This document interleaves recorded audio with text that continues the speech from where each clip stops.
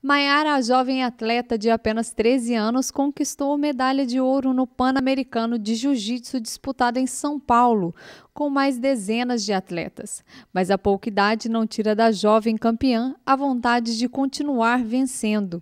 Mas para atingir novas conquistas, ela precisa pegar pesado na rotina de treinos.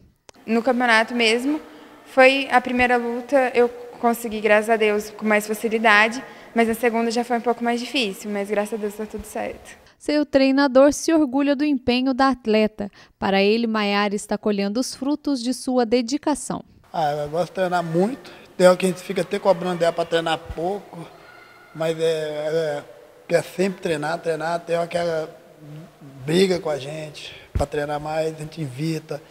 Está machucada, quer treinar. Então, estuda isso aí, a vontade dela que ela quer. E aí está a resposta, é, ser é, segundo campeão mundial, no segundo no, no Mundial, no, no Pan-Americano, em primeiro. Acho que é legal, é isso que a gente, a gente mais alegre.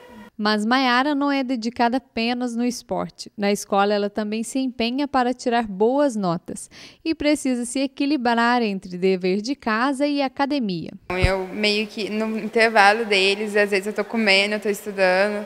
A gente tem que conciliar, né? Às vezes, mesmo na sala de aula, acabou um horário para o outro, a gente vai dando uma revisadinha no intervalo, fica quietinha, estudando. e os professores confirmam que ela tira de letra as disciplinas. A Mayara é aluna do colégio já há algum tempo, é uma ótima aluna, muito dedicada, aliás, traz esses pontos positivos do esporte para dentro da sala de aula, disciplina, ah, o compromisso com os estudos. É uma aluna nota 10, então, em termos de nota, qualidade do estudo, e ela é referência para os demais colegas. Acho que esse que é o ponto a ser levantado, colocado, é justamente o esporte para dentro da escola traz uma disciplina que os alunos carecem ou então melhora a organização deles para o estudo. Mas tanto esforço tem um motivo. Maiara quer seguir carreira no esporte que tanto ama. Na verdade, antes meu sonho era fazer direito. Só que como eu ando crescendo no jiu-jitsu, pretendo seguir a carreira no jiu-jitsu mesmo.